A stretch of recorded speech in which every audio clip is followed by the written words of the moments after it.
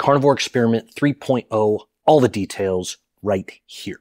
Three biggest complaints I got after my first two experiments were A, I'm lying, B, I don't know how to track the food that I'm eating, and C, I must have had super high levels of activity to offset the amount of calories I was eating. So we're going to factor in all of those for experiment 3.0. Here's what I'm going to do.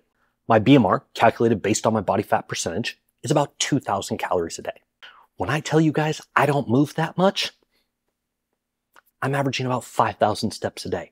And when I work out, I don't burn a whole lot of calories. So this puts my total daily energy expenditure well under 3,000 calories. So I'm going to put this to the test and I'm going to stretch out the time frame.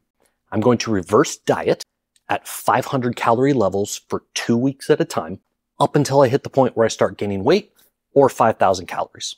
The first two weeks, I will be 3,000 calories. The next two weeks, 3,500. Two weeks after that, 4,000, 4,500, 5,000. And then the final two weeks, I will crash down to 2,000 calories.